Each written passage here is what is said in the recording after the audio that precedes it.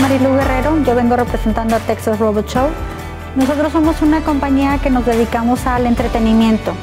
También llevamos eh, eh, accesorios con luces para los invitados para que todos puedan estar divertidos en la pista.